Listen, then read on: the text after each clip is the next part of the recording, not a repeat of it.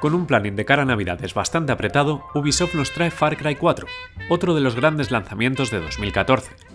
La obra creada originalmente por Crytek ha evolucionado de manera positiva después de la decepción que supuso Far Cry 2. De hecho, con la tercera entrega pudimos disfrutar de uno de los juegos más divertidos de la pasada generación. Con esta cuarta parte se recoge ese testigo para aplicarle un dogma que tanto agradecemos como es el del más y mejor. Cambiamos la isla tropical por las montañas del Himalaya y nos metemos de lleno en Kirat, un lugar ficticio donde dos bandos luchan por el poder, el del despiadado dictador Pagan Min y la Senda Dorada, el grupo rebelde que quiere traer la paz a su pueblo. Nueva localización, nuevo protagonista y horas por delante de diversión. Así que si queréis saber más, no os perdáis el siguiente videoanálisis.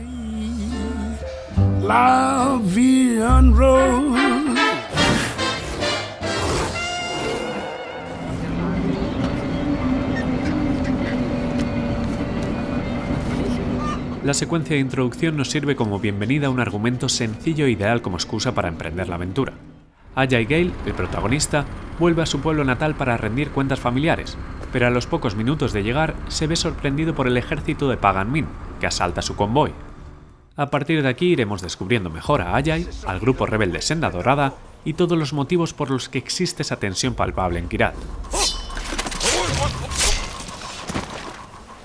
Far Cry 4 nos ofrece la misma libertad de movimiento de la que presume la saga.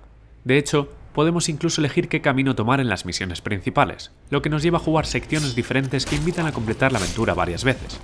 Contamos de nuevo con un gran catálogo de armas y accesorios, que podremos comprar o ganar al acabar ciertos encargos, muchos vehículos, donde destaca el autogiro, ideal para recorrer grandes distancias, y una fauna autóctona que nos permitirá fabricar y aumentar nuestro equipo gracias a su piel.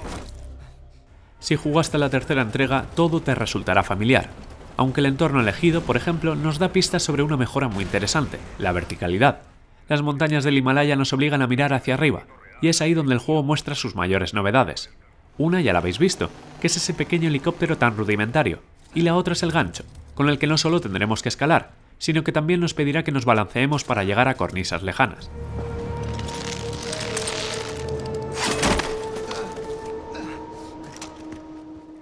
Pero sin duda alguna, la mayor virtud de este entramado de opciones es la gran variedad que nos ofrece.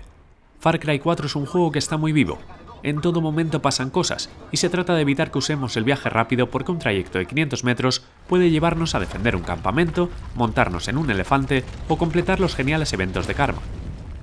Estos últimos son totalmente aleatorios y nos piden por ejemplo que ayudemos al grupo rebelde contra soldados de Pagan Min o desatemos a un rehén que ha sido abandonado en el bosque nos piden que pensemos rápido y actuemos en consecuencia, y como recompensa obtendremos importantes beneficios por parte del pueblo, como descuentos en los mercaderes.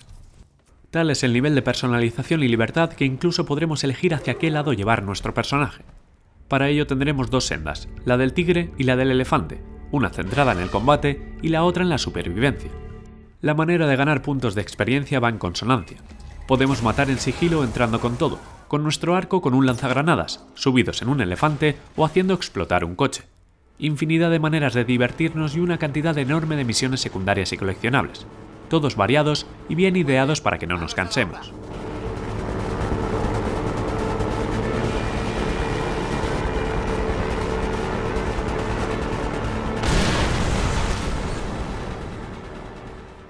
Además, cuando conozcamos a este curioso personaje, nos invitarán a jugar algunas de las misiones opcionales en cooperativo, lo que multiplica la diversión.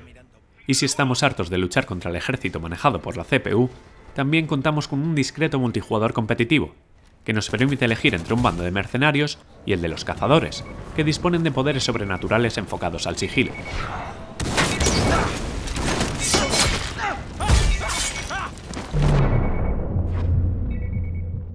Far Cry 4 se comporta muy bien en lo técnico, aunque se notan muchos elementos reciclados.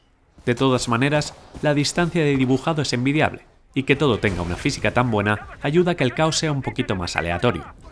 Kiran nos ofrece paisajes llenos de contrastes, como las inquietantes fases en Shangri-La, y la solidez de la tasa de fotogramas ayuda a que todo se mueva de manera fluida.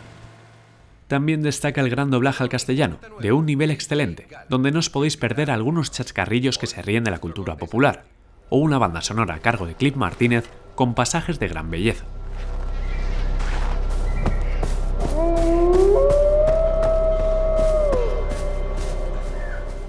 En definitiva, este Far Cry apuesta por lo seguro, que es mejorar su brillante tercera parte. La cordillera del Himalaya es un escenario ideal para librar una batalla con tantos matices entre lugareños y el ejército.